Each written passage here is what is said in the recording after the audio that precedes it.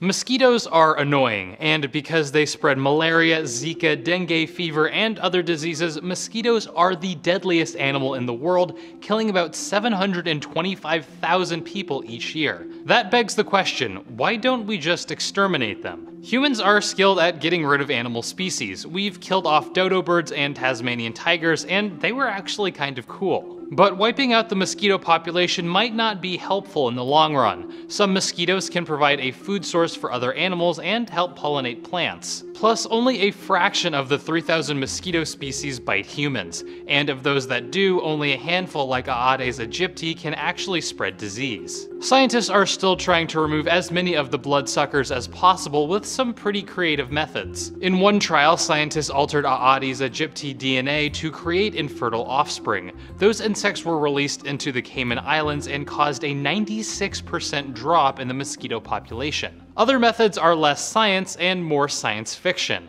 Researchers have developed a system that targets mosquitoes and shoots them down with lasers. But no matter what methods are used, mosquitoes are likely here to stay.